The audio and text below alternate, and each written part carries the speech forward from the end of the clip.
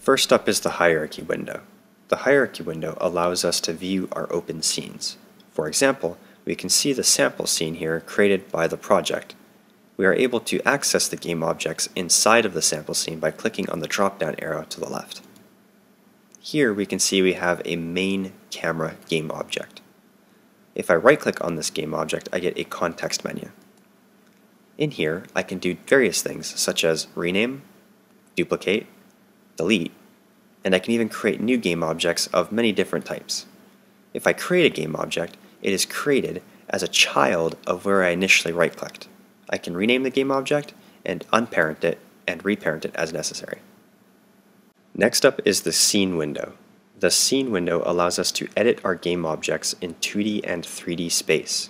We are able to position them, rotate them, and scale them. To select a game object, you can use left click, or you can left click and drag to select many game objects. You can use the right click and the middle click to pan your camera around, and you can zoom in with your middle mouse wheel, or by holding down Alt, right click, and panning your mouse back and forth. If you press W, it will give you the movement gimbal where you can move along each axis or both. You can press E for the rotation tool, and you can press R for the scale tool.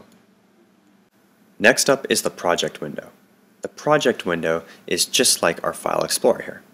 We have my project, assets, and packages. In my assets folder I have scenes and in my scenes folder I have a sample scene. Same thing down here. I have assets, packages, scenes, sample scene. The sample scene is what is currently open right now. Packages are defined by Unity but assets are where we keep all of our data, such as our scripts, our audio, our animations, etc. We try to keep this data organized into folders. You can add folders by right-clicking going to the very top, Create, and Folder. There are also a lot of other options in here for you to choose from, such as scripts. In our Scenes folder, I can barely read the text there, so one thing I do recommend is that you go to the bottom right here and drag this scroll bar all the way to the left for a list view. Next is the inspector window. The inspector window allows us to change the properties of anything we have selected. For example, in my project window, I have this red material. I can change this red material's color property from white to red.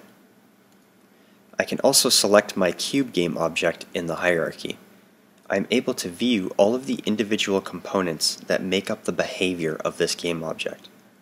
I can click to expand and change the properties of these components individually. I can remove components by right-clicking and going to Remove Component, and I can add components by clicking on the Add Component button. I can also disable and enable my game objects using the checkbox in the top left. Last is the console window. The console window is very important because it tells us if something is wrong with our game. We can also use this console window to manually print three different types of messages to ourselves to tell us what our code is doing. For example, we have logs, warnings, and errors. We can show and hide these logs, warning, and errors using the buttons in the top right. I recommend you always keep errors visible and keep an eye out for them while you're playtesting. Sometimes you will be unable to playtest your game because of a compiler error.